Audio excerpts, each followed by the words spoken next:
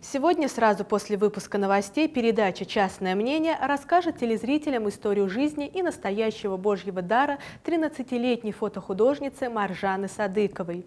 Жизнь этой девочки прервалась от неизлечимой болезни 16 апреля. Но благодаря болезни, как ни странно это прозвучит, Маржане удалось в короткий срок освоить искусство профессиональной фотографии и сплотить вокруг себя множество людей. Помощь неравнодушных людей помогла больному ребенку осуществить мечту – ободриться перед неизбежным уходом. О неравнодушных людях и о том, что можно помочь любому человеку, в программе «Частное мнение» напомнит зрителям Глеб Ильинский.